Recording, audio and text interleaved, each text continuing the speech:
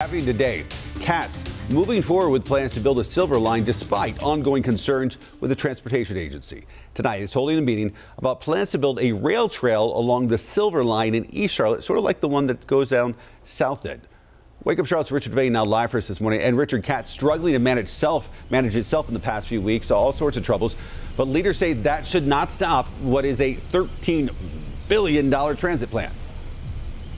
Yeah, city leaders are saying this morning, Ben. Good morning to you. Good Monday morning, everyone. Basically, city leaders are working between a rock and a hard place, trying to convince the public that CATS is working through its problems and it's going to be safe. At the same time, they're still trying to convince lawmakers to give them support on that $13.5 billion transportation plan.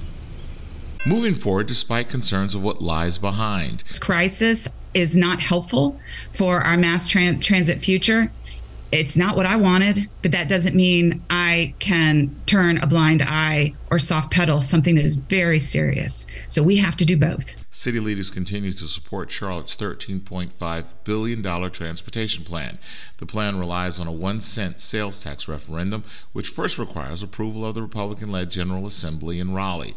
State lawmakers have expressed doubts over the plan, which includes miles of rapid transit corridors like busing, a greenway system, a bicycle network, and light rail, including expanding the Silver Line. Just last week, CATS spoke of three derailments in the last year and a lack of inspections for more than a two year period. Leaders now saying problems with CATS must be addressed. On one side of the coin, I have deep, deep concerns about how we got here. On the other side, I'm, I'm not that surprised because this has been a story a long time in the making. We had uh, a, a real big leadership issue in CATS that we're now just trying to recover from